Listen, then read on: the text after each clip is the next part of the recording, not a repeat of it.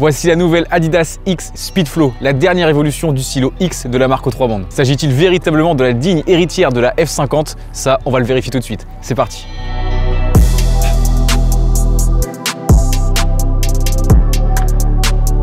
Commençons par le commencement, le design. Et quand je la vois, je ne peux pas m'empêcher de penser à la Adidas F50 A10 plus précisément à la Adidas F50 A10 Prime. Et ça, c'est encore plus flagrant avec la version à lacet. Disposition similaire des bandes, même bande sur l'avant du pied, la même coque à l'arrière. J'étais fan de la F50, alors il ne m'en fallait pas plus pour me faire aimer la nouvelle Adidas X Speedflow qui en plus de ça rend vraiment très très bien au pied. On continue avec une petite comparaison avec la précédente version, la X Ghosted. La silhouette change légèrement, on a un nouveau col, une une allure plus profilée, une allure plus aérodynamique. Mais au final, quand on les met côte à côte, ça reste quand même dans la continuité. Ce qui change surtout, c'est le matériau utilisé pour cette chaussure. Très plastique, très rigide sur l'ancienne version, beaucoup plus souple, en prime recouvert d'une fine couche de silicone sur la Speedflow pour mon plus grand plaisir. Cette nouvelle structure simple et minimaliste, elle offre une véritable enveloppe au joueur afin de bien verrouiller le pied et de le stabiliser peu importe les mouvements. Et à mon goût, ça marche plutôt très bien. Premier point, le chaussage beaucoup plus simple que sur la Lidas X Ghosted, jugez plutôt par vous-même. Pour info, l'année dernière, on avait eu peur de ne pas pouvoir vous faire le test tellement j'avais du mal à rentrer dans la chaussure.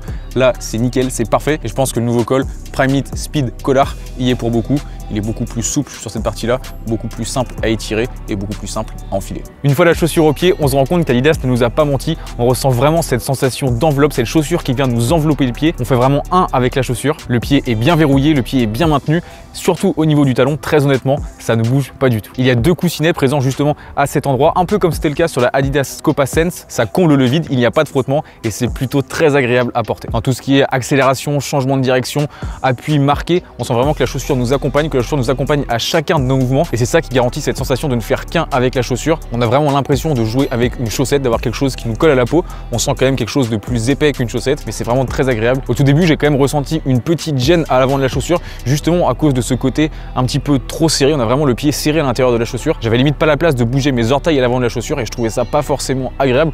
Mais très honnêtement, au bout de quelques minutes, la chaussure s'est fait à mon pied et au final, c'est un gros coup de cœur. Au niveau du confort, j'ai quasiment rien à redire.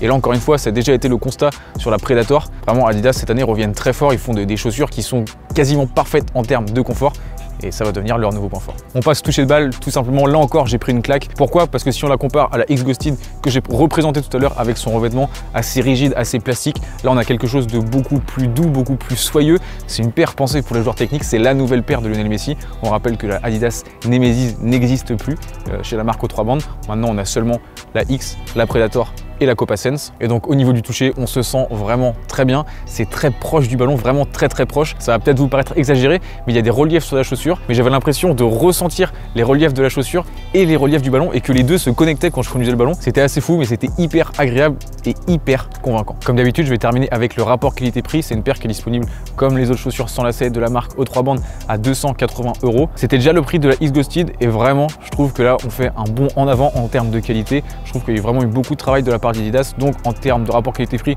on est mieux que sur la version précédente, mais ça reste quand même un petit peu cher. Tout le monde ne veut pas se permettre de mettre ce prix-là dans une paire de crampons.